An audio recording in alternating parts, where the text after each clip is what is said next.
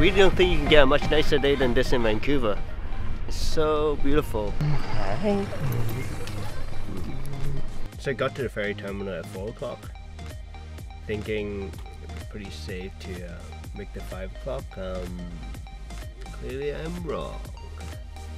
They're saying that I have a slight chance of making the 5, but most likely I'm going to be on the 6.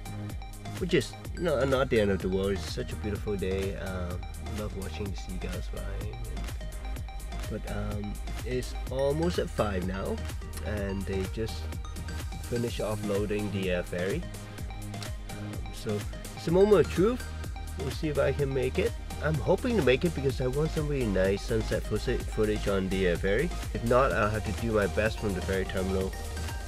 We're just talking to the guy in front and has been paying really close attention to the uh, cars in the ferry and he's not positive. He doesn't think we're gonna make it. And I am kind of with him because there's so many cars went into the ferry already. I, I just don't see how the ferry can fit that many it. We actually get to move. Probably not gonna make it, but we get to move. It's still loading. There are only like five cars in front of me. One, two, three, four, five. Exactly five cars right now. Oh, four cars. Three cars. Only three cars in front of me. I'm gonna make it. Two cars. Still standing.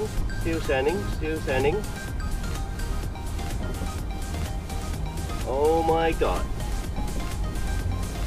I made it. I made it. I made it.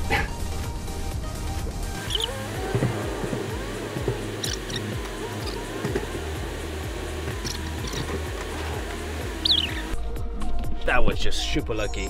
I'm so happy.